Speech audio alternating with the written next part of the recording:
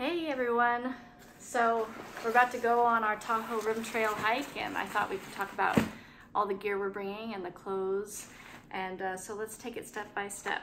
First, let's talk about the pack. I'm like a Goldilocks of backpacks. I've tried several backpacks and returned them. I landed upon the Osprey Eja 58. Um, it just has a nice, has this airspeed area, lets air flow through along your back and a breezy weather. Has adjustable um, torso length, although I'm maxed out on this one. Um, just happy with the fit and the size is a little bit bigger, which I needed. Um, the original Osprey I got didn't have any hip belt pockets. This one does actually have hip belt pockets, pockets, but before I got that, before I got this pack, I bought this through pack. Um, and it's just a, you know, an old style 80s fanny pack type thing, but it works really great. I keep it in front of me. I can keep my phone in it and uh, snacks and chapstick, sunblock.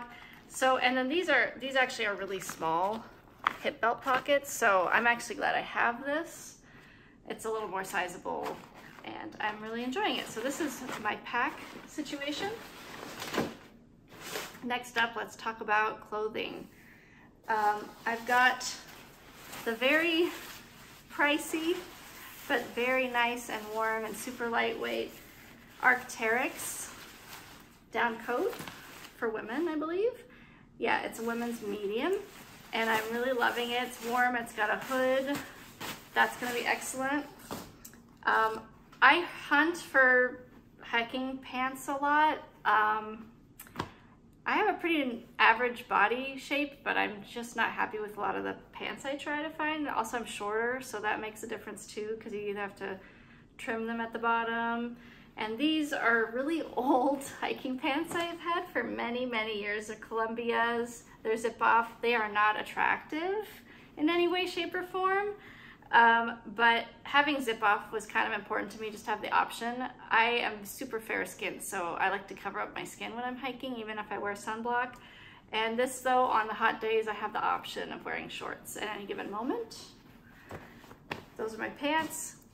Again, covering up my skin. I'm not a young 20 something hiking the TRT. I am 44, so I gotta cover up this skin. So um, I have another Columbia shirt, long sleeve. The sleeves can roll up. I can have short, shorter sleeves if I want, but, uh, and it's breathable, light, and it does its job. Um, got a Patagonia sports bra I'm really happy with, flat straps. I have a Smartwool, very lightweight cap for nighttime. Buff, gotta have a buff. Lightweight, uh, these are ex, ex, ExOfficio hiking underwear, sleep underwear. Uh, a sleep shirt that's a lightweight wool, just t-shirt. Um, if I happen to be cold at night or around the camp, I have a wool long sleeve shirt with a hood. Katie kind of turned me onto these. Ad Odlo, Odlo, Odlo is the brand. Um, Katie got one and I got jealous is what happened. So now I have one too. So that's great for sleeping and just being around the camp. And on a very cold morning when you're starting hiking, I hate wearing my down coat when I'm hiking because it's, I just don't want the straps tearing it up and stuff. So I'm planning on throwing this on in the cold mornings as well. And then I just have some Smartwool long underwear for the bottoms. All right, let's talk a little bit about shoes and footwear. So I wear La Sportivas. Um, they're good for thinner feet. I usually wear a size seven shoe, but I went up to a size eight uh, for hiking. I tried a seven and a half, but I thought, you know what, I want even more space. So size eight for hiking, and I've been really happy with them. Comfortable, don't get, I mean, everyone gets foot pain when you're hiking all day long, but it does, it they do the they do a good job and they have good gripping. Um, of course, you've got the classic trail hiker gear, the Dirty Girl gaiters that keep the little rocks and gravel out of your shoes. They do a great job. So happy with the Dirty, dirty Girls. Um, for socks, I've always, I grew up, you know, hiking and getting blisters over and over again, trying all these different things to stop blisters until I got the Injinji toe socks. These are the, the thinnest type of Injinjis. Um, so the Injinji toe socks go around my little toes. They do wonders for blisters, keeping them at bay. And then I wear these and on top of them I wear just, these are just a um, hiking sock from, I think these are wigwam socks they're called. And uh, so these and then these on top in my shoe and seems to do a great job. And then some alpaca socks for sleeping at night to keep my feet warm. Okay, nighttime sleeping gear. Let's talk about sleeping bags. So we have got a sleeping bag from Z-Packs. Uh, this is a 10 degree grade sleeping bag. It's super lightweight. I love it, keeps me warm. No complaints. Loving the Z-Pack sleeping bag, super lightweight and warm. I've also got, because I have problem with cold feet. I just have cold feet. It doesn't matter what time of year, I get cold feet all the time. So decided to spend a little extra cash on these little down booties to put over my, my socks at night in my sleeping bag.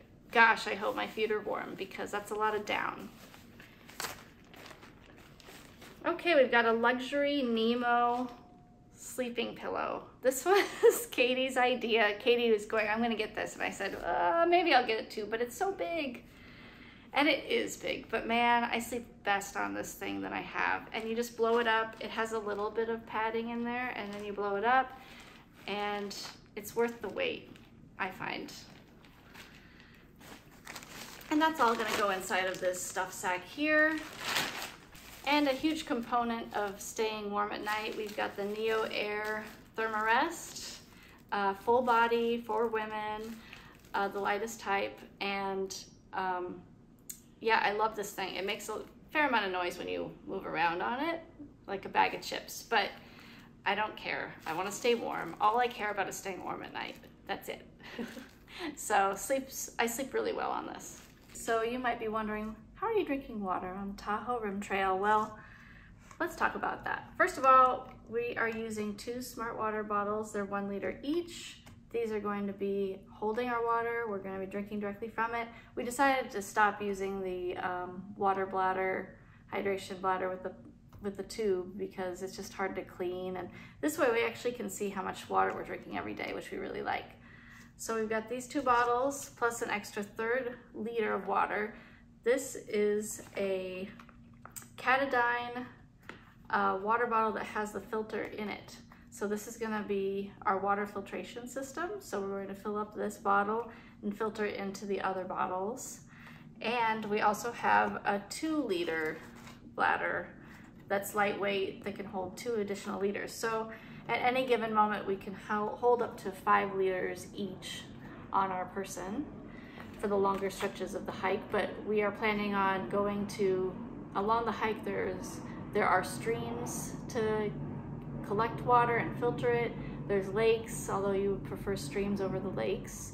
Um, and there's some camp spots along the way that might have water. Plus we're going to be caching water at strategic locations for ourselves. So yeah, that's how we're going to be keeping hydrated on the Tahoe Rim Trail.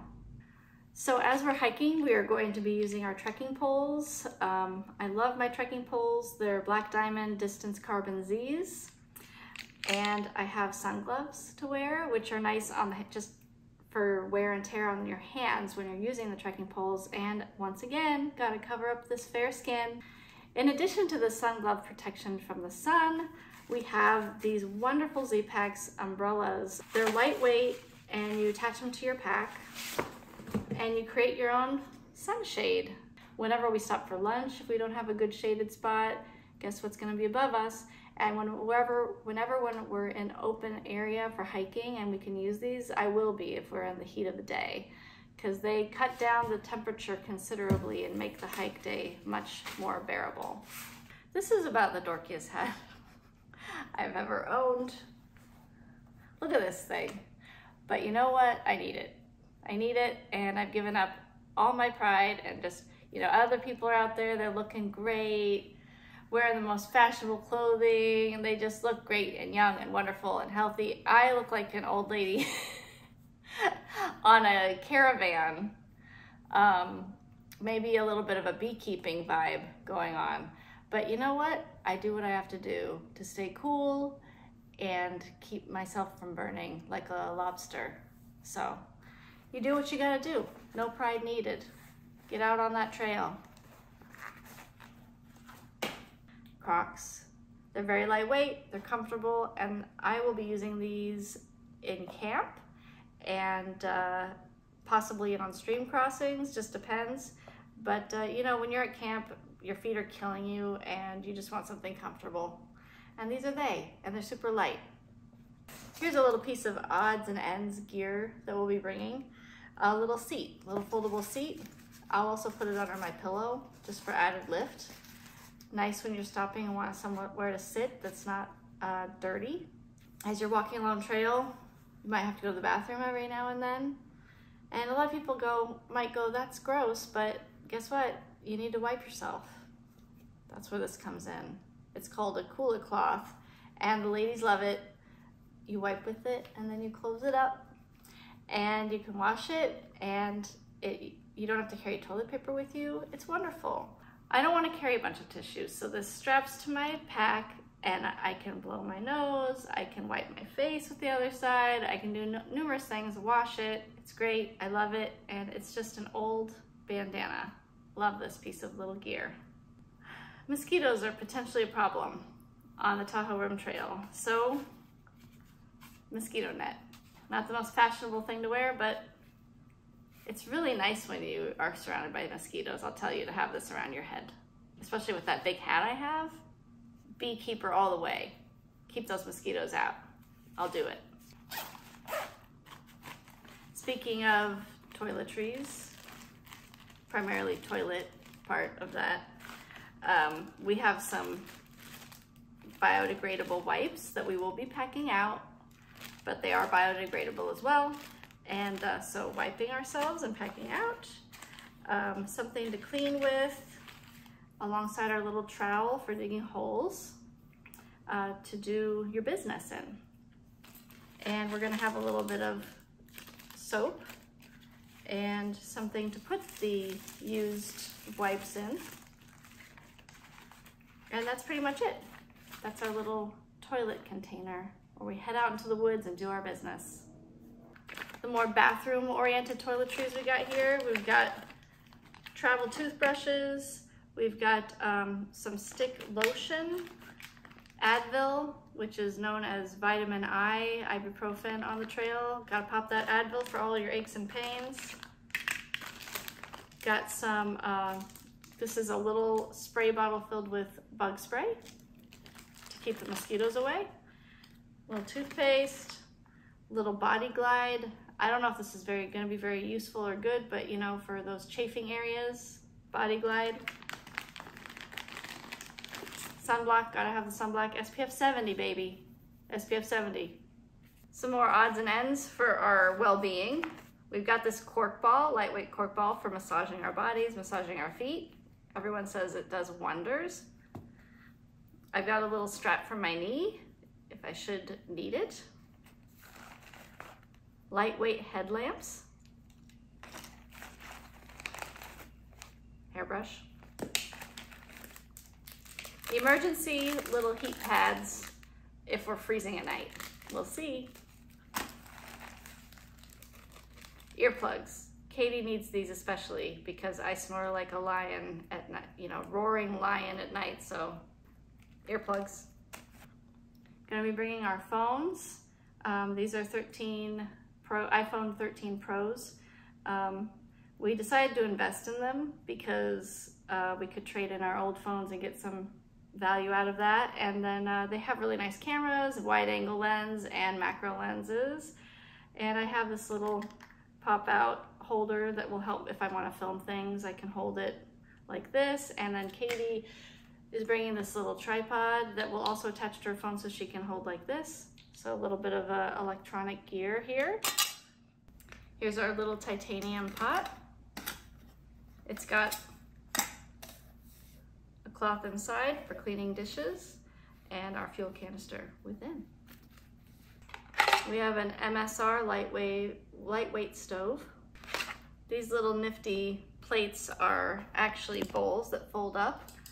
We bought them ages ago. You can, can't find them anywhere now. And I don't know, we love them. And we decided we're gonna use them and bring them for food. And got little titanium spoons to go with them.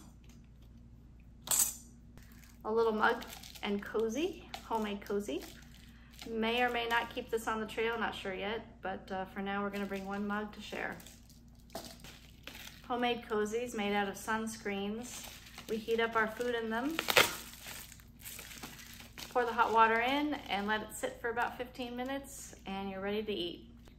Compass for emergencies, little journaling, lightweight knife, first aid kit with all the essentials, rain cover for my pack, and the piece de resistance this is our Z-Packs tent triplex because we're so large that we need a three-person tent. No, we just like to have a lot of space and we call it our palace and we love it. A few cables with our Nitecore uh, recharging unit for on the trail. Garmin InReach Mini to in case of emergency and to track our trail uh, progress. Got the official Tahoe Rim Trail map that's uh, water resistant. And then we've got a few little printouts that have our elevation gains and losses every day. And we've got our California fire permit that we both needed to get, as well as our Tahoe Rim Trail visitor's permit. And we are ready to go. We're ready to hit the trail.